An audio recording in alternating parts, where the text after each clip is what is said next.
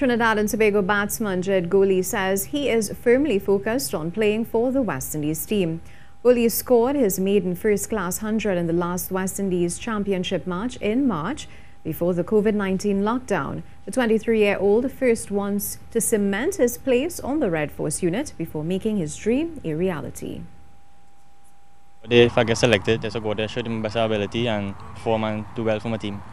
Well, basically, yeah, well, I with my fitness a lot. So during the COVID time, I was just doing a lot of work on my fitness, my core, my, my endurance, try to build it as high as possible. And also do a lot of mind work as well, mental work, preparation. In between, I do a lot of batting and bowling as well. So. Goolie was part of the West Indies team that won the ICC Under-19 World Cup in 2016. He has only played four first-class matches since then and wants to cement his place in the senior T&T team. Uh, yeah, after I try to perform, try to get the, the runs, the wickets behind my name to try my, uh, my name a selection.